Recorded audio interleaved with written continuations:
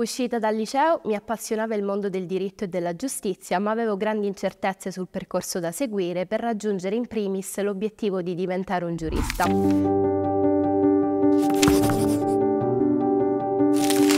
L'obiettivo principale del corso è quello di far acquisire allo studente una cultura giuridica di respiro internazionale che renda lo studente capace di conoscere e aggiornare il sapere giuridico, ma anche e soprattutto di approcciarsi a tale sapere elaborandone e gestendone i profili concretamente operativi.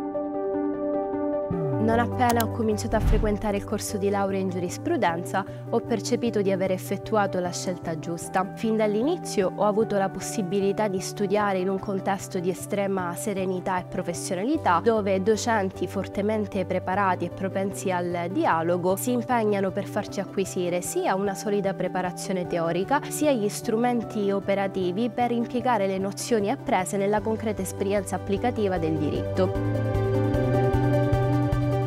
Più nello specifico, lo studente potrà mettere in pratica la capacità di redigere atti giuridici scritti, di impostare argomentazioni giuridiche persuasive, di elaborare simulazioni processuali efficaci. Il corso di laurea si struttura in tre programmi di studio, il percorso forense, il percorso giuridico economico e il percorso internazionale. Allo scopo di agevolare e accelerare l'inserimento dei nostri laureati nel mondo del lavoro, il corso prevede lo svolgimento di un tirocinio curriculare, il cui eh, contenuto contenuto dovrà essere complementare all'elaborazione della tesi di laurea e le cui attività dovranno essere effettuate presso enti ospitanti. Tutti eh, i percorsi contemplano poi l'organizzazione di laboratori di scrittura e argomentazione giuridica e di simulazione processuale. Ma quel che davvero differisce la LUMSA dalle altre università è che il progetto formativo del corso si incentra realmente sul primato della persona.